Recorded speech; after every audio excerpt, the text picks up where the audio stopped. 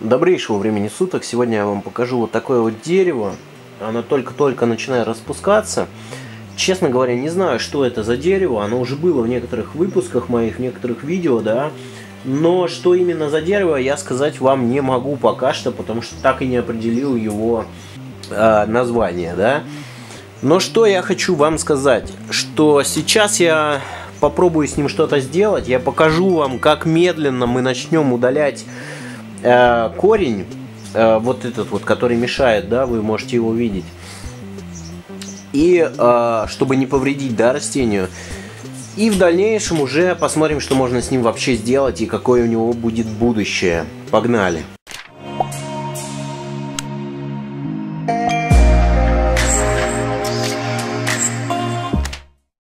Так, я приблизил к кроне точнее, жалкому подобию кроны, потому что здесь на самом деле это вообще как бы и не особо-то есть, что можно назвать кроной. Так, давайте мы используем старенькую вот эту проволоку, мне жалко ее выкидывать. Нужно быть очень осторожным, потому что я помню, что это дерево, оно было очень хрупким чтобы ничего не сломать, нужно быть очень-очень аккуратным и осторожным, потому что веточек у него и так мало, и сломать что-то я абсолютно не хочу. Поэтому будем максимально аккуратно все делать, блядь. Черт. Так, окей, вроде как все. Чуть-чуть его наклоню. Больше не буду наклонять. Окей. Так. Здесь нужно обрезать. Так, так, так, так, так. Это вот дерево, кстати говоря, появлялось в видео про проволоку, про, про врастание проволоки и что делать, э, если у вас на дереве проволока вросла. Поэтому, если вам будет интересно, вы можете поискать у меня на канале и обязательно найдете про врастание проволоки. Далее, что я хочу здесь посмотреть. Есть некоторые побеги у него, которые очень сильно выросли. Мне этого абсолютно не надо, поэтому я сейчас, конечно же, их подрежу у кончиков, чтобы они дальше не росли. Так. Даже, наверное, посильнее обрежу. Окей. С этим деревом я хочу что-нибудь на самом деле сделать, потому что оно довольно-таки красивое. Я не знаю, что именно с ним можно сделать в плане того, что фруктовое оно или нет, цветущее оно не, или нет, потому что оно у меня никогда не цвело. И, честно говоря, я даже не представляю, цветет оно или нет. Вот, удалим здесь засохшую ветвь. Отлично. Засохшие ветки, они не можете их не сразу удалять, лучше подождите, чтобы уже точно убедиться, что ветка засохла, и тогда уже точно только удаляйте. То иногда может показаться, что ветка засохла, а на самом-то деле она и не засохшая, а просто с ней что-то случилось, что на э, рост новых веточек, новых листиков на ней замедлился. Такое бывает. Не на всех деревьях, но бывает. Поэтому лучше всего конечно же, как-то это все контролировать. Итак, сейчас, наверное, я ничего больше с ним делать не буду. А, что я хотел вас попросить, если вы знаете, что это вообще за дерево, то напишите его название в комментариях, потому что я пытался найти его в интернете, но никаких э, признаков, так скажем, названия его я так и не нашел. Из-за этого я вот и как раз хотел вам его еще разок показать. И в принципе хотел вам показать, в каком оно состоянии сейчас находится. Сейчас я его сильно удобрю, чтобы оно было хорошо удобрено. Э, буквально минуточку и мы вернемся. Итак, у меня есть большое количество уже промокших и, так скажем, плесневелых кусков удобрения, поэтому я как раз таки в первую очередь и использую. В принципе, они могут так храниться и дальше, но Не знаю, как-то эстетически мне не особо нравится, поэтому я сейчас не добавлю. Добавляю я всегда Нагакору, потому что Акадама и Кирюзуна, смесь, которую я использую, да, земли, самая лучшая, на мой, на мой взгляд, как я опять же повторюсь, э, она уже питательна и богата веществами питательными, да, я просто хочу добавить немного для того, чтобы вот этим летом растение могло очень хорошо вырасти и максимальное дать количество новых побегов, потому что с новыми побегами у нее вообще все плохо. И дерево, ну, очень бедно выглядит, так скажем.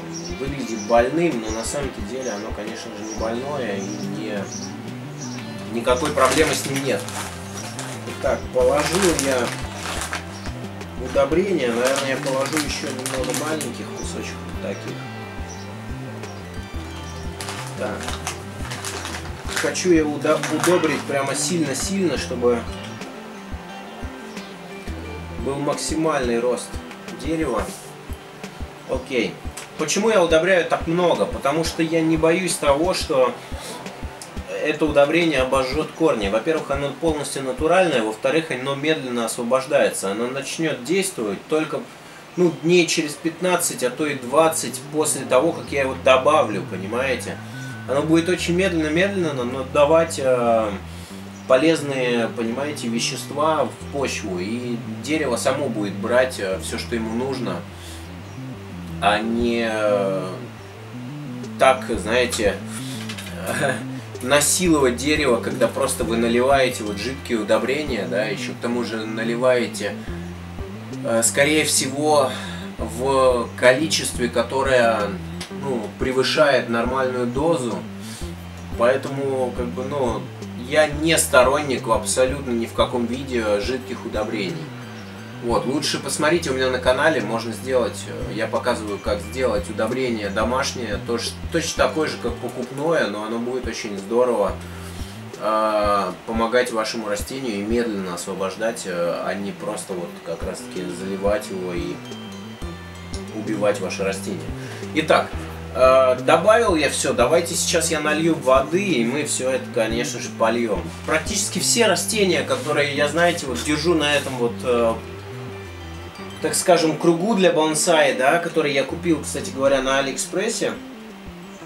Э, я их все практически поливаю с помощью спрея. Я люблю поливать вот именно, знаете, э, так скажем, точечно, детально э, мои бонсай, и из-за этого как бы спрей самый подходящий вариант – нужно очень хорошо пропитать э, эти вот удобрения, потому что они находятся в сухом виде и э, начинают действовать только когда ну, напитываются влаги и находятся постоянно во влажной э, почве.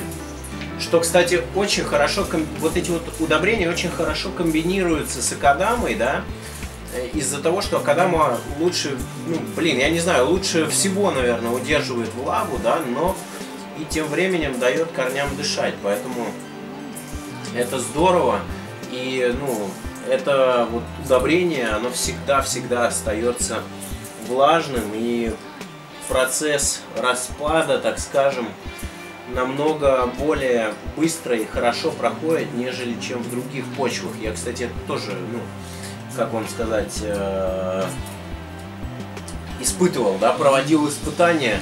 И я думаю, еще раз я это сделаю на канале, но немного позже. Вот, надо очень хорошо пропитать, чтобы каждое удобрение пропиталось влагой. Ну и потом просто уже останется просто поддерживать, так скажем, э,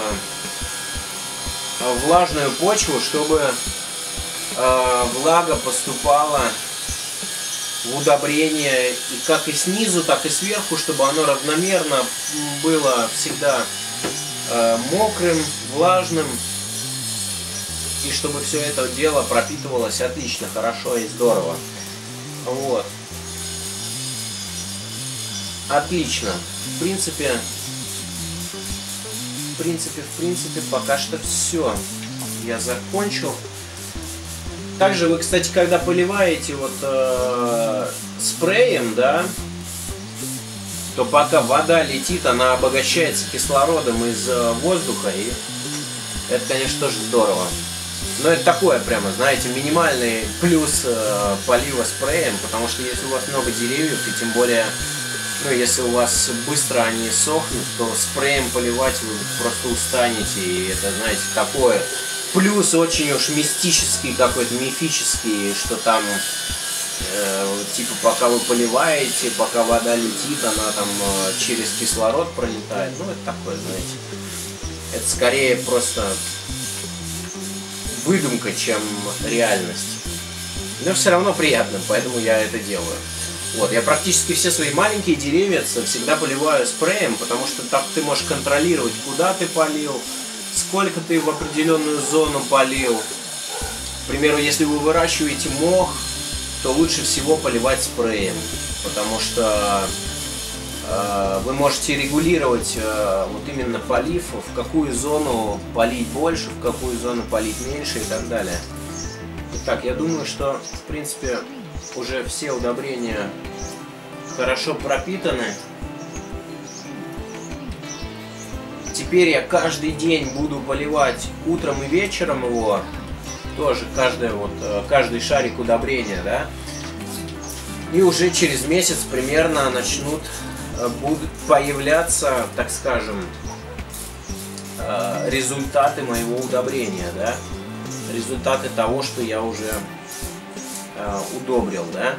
Кстати говоря, вот тут вы, наверное, плохо увидите, не сможете увидеть, но здесь появляется мох, маленький-маленький кусочек мха, вот тут еще тоже маленький кусочек.